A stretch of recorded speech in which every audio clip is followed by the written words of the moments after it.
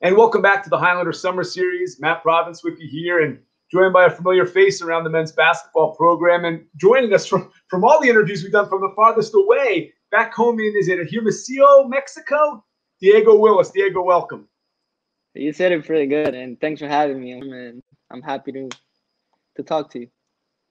Well, I want to start. I, I, knew exactly where I wanted to start with you because I remember when you first came in, we were really excited about your, your shooting, your offensive game.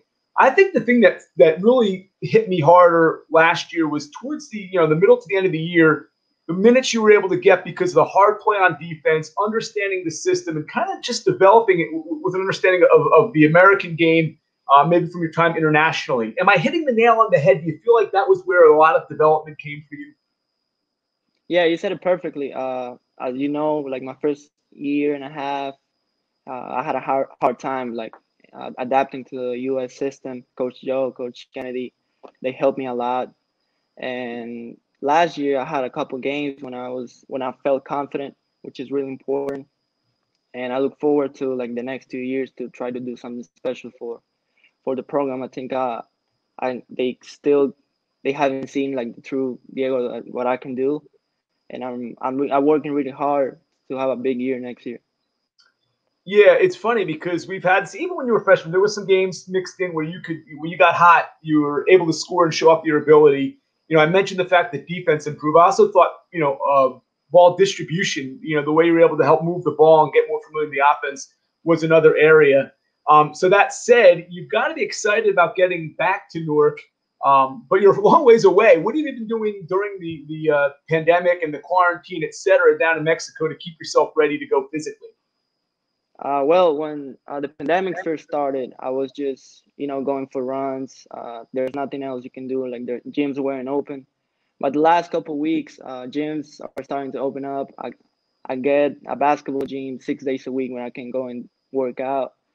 So I, I'm actually working really hard towards uh, next year. Next season, I think is going to be big for me and for the program, and I, I look forward to it. All right, I'm going to ask you this. You can ballpark it. But in a session at the gym with Diego Willis, how many three pointers go up in one workout session? Give me an estimate, ballpark. Uh, definitely 100 plus, maybe 120, 120, 130 makes. Yeah, and, and of those, uh, I'm guessing there's a high percentage makes. I do 120. I'd be happy to get maybe 10 or 15, which uh, much below your standard. I, am well aware. um, you know, to me, it's you've always been an interesting story because you've had such an awesome experience playing, you know, representing Mexico at different levels uh, in different international competitions. I know this year was set to be a pretty exciting summer as well. A lot of cancellations, but talk a little bit about what you've been able to do and maybe what was was was derailed this year that was uh, you know were things that you were excited about.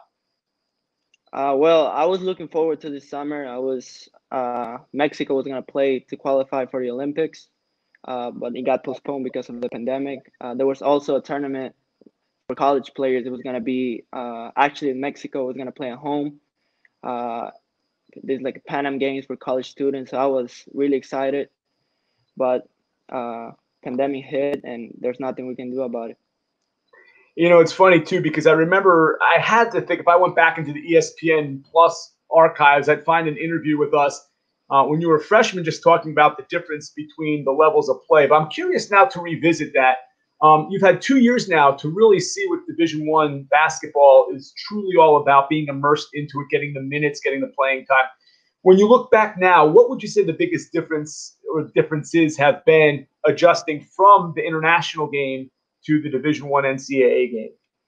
Uh, there's two of them. Uh, first, I would say the pace of the game is, is really high at Division One level. Uh, everything just happens so fast, and I'm starting to get adapted to it, but still, uh, it was a it was a hard thing to do for me when I first got in. And the other thing will be defense. Uh, you know, you're playing against another team, and every each one of them can score the ball, can do a lot of things. And uh, as BK said, uh, if you want to play, you just got to play defense. And it was a, a, focus for me for the first two years.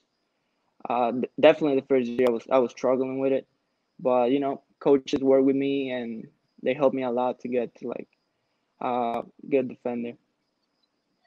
You've been around obviously now for a couple years, and these guys that we have on the roster. But it's interesting too. Some some top newcomers, some some JUCO transfers. What excites you most about the Highlanders 2020-21 edition um, for when we get there? Well, what I've heard about the players is they're very talented, and I think they're gonna it's gonna be a good mix of uh, JUCO transfers. There's some freshmen coming in. They're last year. Now they're sophomores. Uh, Zach and Tone that's gonna be leading the way. So I believe uh, we have a good mix of players that we can do interesting things in, in the new conference. I'm excited about that too. I think we, we're gonna get a good chance in that conference. And I think we can do a really special thing this year.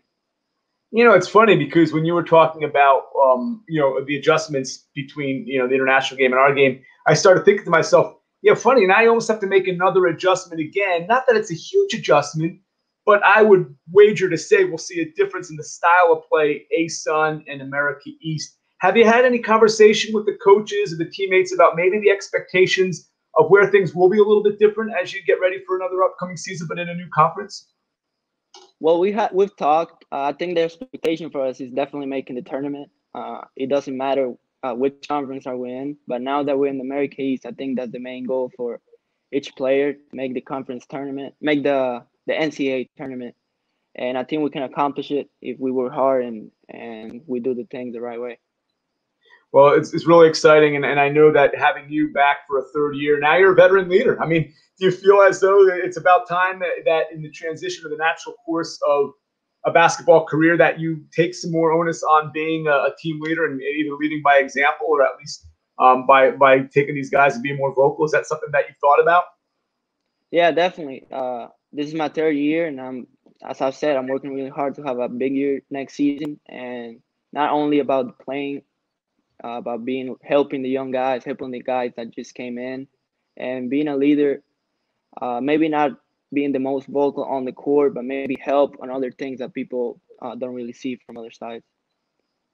All right. Before I let you go, we've also had two years on the other side of NJIT, which is the academic side, which is a big part of I think what the the student athlete uh, uh, experience is when you come and make a decision to go to a place like NJIT.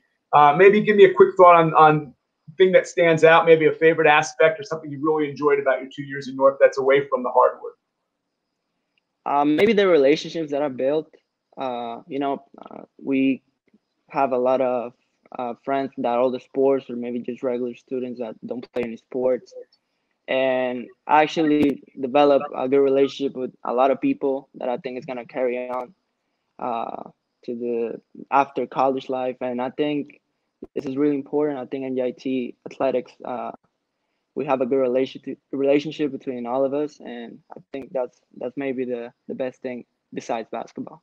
Yeah, that's just right because the basketball's been uh, obviously awesome, and we have a bright future for a couple more years with you, Diego, and the team that has been built around you.